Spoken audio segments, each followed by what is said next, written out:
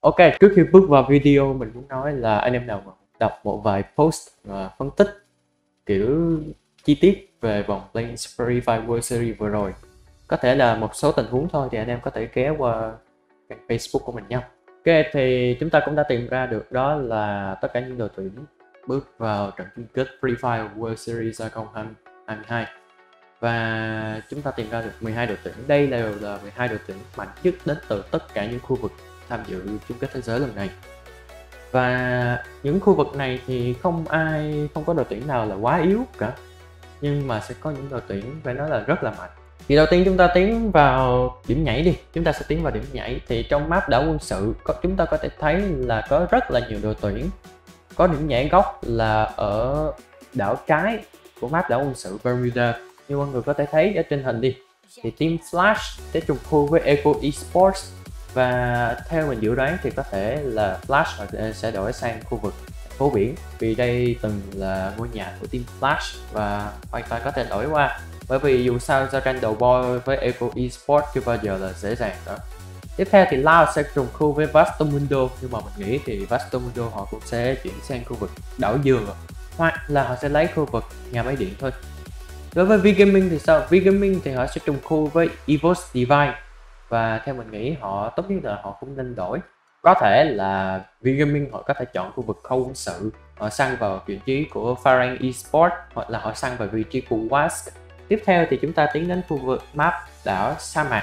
Đảo sa mạc thì khu vực đền thờ có khá là nhiều đội tuyển họ chọn bao gồm đó là Evos Divine, Vastomundo và Loud theo mình nghĩ thì cuộc chiến vẫn sẽ giống như năm ngoái. Năm ngoái khi mà Evos Divine và Loud họ nhảy trùng khu với nhau ấy thì không có đội tuyển nào nhiều, đội tuyển nào cả. Tuy nhiên thì cũng không nổ ra bất kỳ pha giao tranh nào cả.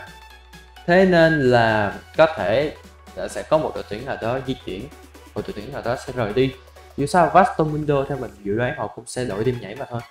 Tiếp theo thì Vigaming Vigaming thường thì họ sẽ nhảy ở khu vực trại đào tạo. Tuy nhiên thì trong trận chung kết thì Eco Esports theo mình biết họ sẽ đổi sang khu vực trại đào tạo, hoặc là họ sẽ lấy cái quảng trường tại vì sao? Trong khu vòng plains không có Evos Divine thì họ thoải mái, họ nhảy ở khu vực đền thờ, ok. Nhưng mà vào đây rồi Evos Divine họ lấy cái khu vực đền thờ thì mình nghĩ Echo họ sẽ quay trở lại cái điểm nhảy ruột của mình, đó là trại đào tạo. Tiếp theo thì Attack All Around sẽ trùng khu với cả Wask đến từ khu vực Mena thì mình nghĩ là Wask họ nên lấy cái điểm nhảy cũ của Attack All Around đó là Santa Catarina thì có thể ok. Ở khu vực khu lục dầu refinery thì Minerals đến từ khu vực Latam sẽ trùng khu với Farang Esports mình nghĩ Farang sẽ là người phải đi. Mình nghĩ là như thế, dù sao vẫn còn rất là nhiều khu vực trống. Còn team Flash, lý do mình để ở đây là chắc mọi người cũng biết rồi. Điểm nhảy đền thờ của team Flash khá là đông. Mình nghĩ là trước sau gì họ cũng sẽ đổi quay trở lại thị trấn cổ thôi. Dù sao thì Bell cũng đã từng nhảy ở đây rất là nhiều rồi. Ok, và map thi đấu cuối cùng thì đó sẽ là đảo thiên đường. Đảo thiên đường thì chúng ta thấy là Evos, Evos Phoenix và Farang Esports họ trùng khu với nhau. Và tất nhiên đội Farang họ sẽ là người phải di chuyển thôi. Không có dạy gì mà so tranh với đương kim vô địch thế giới ở đây nữa. Tiếp theo thì Team Flash và Attack All Around họ sẽ trùng khu với nhau. Trong 3 lần chạm trán ở khu vực đảo thiên đường thì Attack All Around thua đến hai lần. Thì mình nghĩ là Flash, nếu họ tự tin thì họ có thể ở lại. Thì đây cũng sẽ là một màn chạm trán khá là thú vị và mình không biết là team Flash liệu có thương lượng gì với Attack Aura về điểm nhảy hay không. Echo Esports thì họ lại trùng khu với Bastomundo và mình nghĩ Bastomundo một lần nữa sẽ phải giờ đi thôi. Có một đối thủ nữa cũng khá là đáng chú ý, đó chính là những đội tuyển Indonesia, cụ thể đó là Evos Divine và Eco Esports. Đối với Eco Esports thì họ đã thể hiện một màn trình diễn cực kỳ ấn tượng khi thể hiện cái khả năng đi săn rất là bá đạo và cũng như là rất là tốt của mình.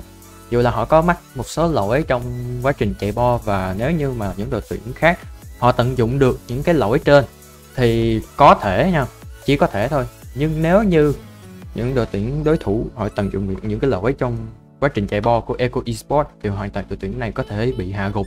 Nhưng nhìn chung thì Eco Esports là một đối trọng cực kỳ đáng sợ ở khoảng giao tranh tầm gần và cũng như là khoảng giao tranh đầu bo. Thế nên là mình nghĩ khi mà trùng khu với Eco Esports ở map cảng lớn thì mình nghĩ là Team Flash họ sẽ phải di chuyển. Hoặc có thể đó là Vigaming khi mà họ trùng khu với Eco Esports ở map trại đào tạo.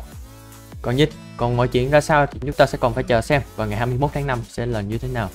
Tiếp theo một đội tuyển nữa cũng rất là đáng sợ đó chính là EVOS Divine. EVOS Divine thể hiện sự outing ở giải quốc nội của mình không phải là do giải kém cạnh tranh, nhưng mà bởi vì EVOS Divine theo mình nghĩ là họ quá giỏi thôi.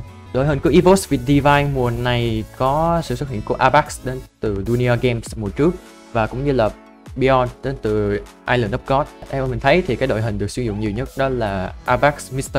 05 Beyond Street. Lâu lâu mình sẽ thấy Sam 13 ra sân, nhưng nhìn chung thì đội hình này vẫn rất là mạnh. Cũng là một đội hình thiên về giao tranh tầm gần. Tất cả những người chơi trong EVOS Divine đều có khả năng giao tranh tầm gần cực tốt. Thậm chí đến cả một sniper như là Sam 13 anh ta cũng bắt đầu chuyển sang semi sniper. Và mình, theo mình biết thì anh chàng này đang có kế hoạch giải nghệ. Dù sao thì top 3 những đối thủ đáng sợ của chúng ta cũng sẽ là những người Indonesia. Top 2 thì đó sẽ là những người Brazil những người Brazil thì khuynh hướng chung họ là những người chơi thiên về lối chơi chiến thuật nhưng không vì thế mà chúng ta được nên giá thấp cái kỹ năng cá nhân của họ. Kỹ năng cá nhân của họ là cực kỳ tốt, đặc biệt đó là Lao. Lao sở hữu cho mình đó là một tanker. Trẻ triển vọng đó là Lost. Anh chàng này được chiêu mộ từ meta gaming và chắc chắn sẽ là một đối trọng cực kỳ đáng sợ. Thì trong đội hình của Lao sẽ có những tuyển thủ như là Kawan Seven, như là Kronos, như là tất nhiên rồi, đội hình của Lao thì Laos họ sẽ trùng khu với một đội tuyển nữa đó là Vastamundo. Ngoài ra thì Laos họ trùng khu với cả Evos Divine ở map đảo sa mạc, đó là khu vực đền thờ. Theo mình biết thì cái việc phân chia khu vực tại giữa Evos Divine và Laos vẫn chưa có hồi kết. Nó kéo dài từ Free Fire World Series năm ngoái và đến bây giờ vẫn chưa có kết quả. Cơ bản là bởi vì tại giải chung kết thế giới năm ngoái thì cả hai đội đều nhảy xuống dưới khu vực đền thờ nhưng cả hai đội không giao tranh với nhau và lắng lặng rút đi. Thì điều này vô tình dấy lên là liệu Lao họ có tiếp tục chọn cái khu vực đền thờ nữa hay không? Tiếp theo đó là Vivo Kid Vivo Kid thể hiện một phong độ khá là bất ngờ tại vòng Play Free Fire World Series vừa rồi. Tuy nhiên thì họ không có đến mức tệ, họ gọi là khá là ok và với hai cái buya chỉ tiếc là họ cãi một số ván thi đấu. Vivo Kid là một đội tuyển rất là thích di chuyển sớm. Tuy nhiên, việc di chuyển sớm như thế này nó khiến cho Vivo KD khá là nghèo về lượng đồ, nhất là ở map đảo quân sự khi họ nhảy ở khu vực thung lũng. Khu vực thung lũng thì lại không phải là một khu vực quá giàu. Nó sẽ chỉ giàu nếu như mà các bạn lướt xung quanh khu vực thung lũng, ví dụ giống như là các bạn lướt bao gồm luôn cả khu vực làng thông hay là lướt rìa gần cũng trời thì may ra lượng đồ sẽ giàu. Tuy nhiên, thì nhìn chung khu vực thung lũng không phải là khu vực quá giàu nếu như các bạn lướt xong rồi đi sớm Điều này khiến cho Vivo Kid họ chỉ có đủ một lượng đồ duy nhất cho một pha giao tranh.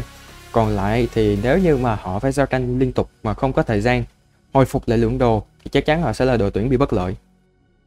Và cuối cùng, đó là những đại diện đến từ khu vực Thái Lan, bao gồm là EVOS Phoenix và Attack All Around. Mọi người cũng đừng mang cái thất bại của EVOS Phoenix tại FFPC 2021 ra để đánh giá thấp. Mỗi đội tuyển thì sẽ có một thời điểm phong độ đi xuống, đi lên khác nhau Ví dụ như là tại FFAC 2021 thì EVOS Phoenix đã thi đấu không quá tốt, phong độ của họ kém thì có thể là họ thi đấu không tốt.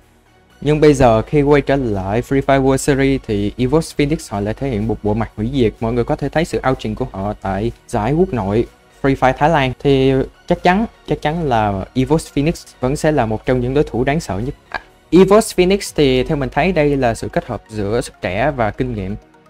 Trong đội hình của EVOS Phoenix gồm có Dillon, một người chơi lớn tuổi nhất. Nhưng mà anh ta vẫn còn trẻ hơn cả Binsu. Theo như mình biết thì anh chàng Dillon không còn thi đấu nữa, tuy nhiên anh ta vẫn ở dưới dạng là quản lý team cũng như là huấn luyện viên của team. Thì với kinh nghiệm của Dillon, người đã từng có mặt tại hai giải Free Fire World Series thì chắc chắn là EVOS không phải là một đối thủ dạng vừa.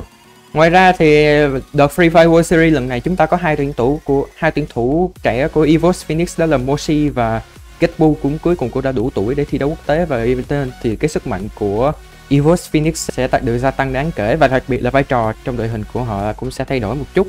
Joanna, nếu như các bạn không nhớ thì tại đợt Free Fire World Series năm ngoái, anh ta là vị trí sniper. Tuy nhiên, vì lần này họ đã có Moshi thế nên là vị trí sniper được đẩy xuống cho Moshi. Còn anh Joanna, anh ta sẽ làm tanker song sát cùng với Getbu Đối với The Cruz thì anh ta được đẩy lên làm vị trí đi scout. Một điều thú vị đây là anh chàng duy nhất cầm Misha trong đội hình của EVOS Phoenix. EVOS Phoenix có cách tối ưu hóa kỹ năng Misha khá là hay đó là việc họ chỉ giao duy nhất cho The Cruz anh ta cầm Misha để anh ta đi scout, anh ta đi khám phá. Còn lại thì những người còn lại trong team thì không cần cầm Misha, cơ bản là bởi vì những người còn lại trong team họ sử dụng xe thể thao để họ di chuyển nhiều hơn. Điều này giúp cho EVOS Phoenix không còn phụ thuộc quá nhiều vào Misa và điều này cũng giúp cho chúng ta ngộ ra một điều đó là việc Misa không có quá nhiều đất diễn ở trong vòng Plains vừa rồi, cũng như có thể là trong trận chung kết Misa cũng sẽ không có nhiều vai trò. Nếu như các bạn còn nhớ thì ngoài việc sử dụng xe máy để di chuyển ra thì Misa không còn đất diễn gì. Chúng ta có thể xem Vigaming thi đấu, họ là một đội tuyển dùng full 4 Misa tuy nhiên thì ngoài việc sử dụng xe máy di chuyển ra thì Misa không còn quá nhiều tác dụng đối với team họ. Thì điều này dấy lên cho chúng ta một suy nghĩ đó là liệu những đội tuyển Việt Nam có nên học cách tối ưu hóa Misa như những đội tuyển bên Thái Lan hay không? Mà mình thấy thì cả EVOS Divine bên Indonesia họ cũng tối ưu hóa Misa cũng theo cách này. Ngoài ra cái khả năng giao tranh của EVOS Phoenix cũng không phải là dạng vừa hay nói thẳng ra là cực kỳ ghê gớm. Có thể so sánh khả năng giao tranh của EVOS Phoenix phải gọi là nhất nhì của giải Free Fire World Series lần này và nếu như phải chọn những đội tuyển có thể sánh ngang với EVOS Phoenix thì chắc chỉ có Loud hay Vivo Kid hay thậm chí là Attack All Around mới may ra so sánh được. Và đội tuyển cuối cùng đó là Attack All Around. Attack All Around ngoài điểm yếu giao tranh bao đầu không tốt của họ ra, thì Attack All Around họ khá là toàn diện về mặt di chuyển cũng như là giao tranh Mọi người có thể thấy là kỹ năng giao tranh của Attack All Around không phải là dạng vừa và đội tuyển này vẫn còn để lộ khá là nhiều điểm yếu, khiến cho họ không phải là đội tuyển càng quét đáng sợ nhất của vòng Plains Free Fire World Series vừa rồi. Dù sao thì Attack All Around họ cũng sẽ còn có nhiều điểm cần phải khắc phục và các đội tuyển Việt Nam của chúng ta cũng như thế. Còn anh em đánh giá sao về cơ hội vô địch của đội tuyển Việt Nam? Ngoài ra thì anh em nghĩ thì đội tuyển nào sẽ là đội tuyển có khả năng vô địch cao nhất thì anh em cho mình biết ở dưới phần comment nhé.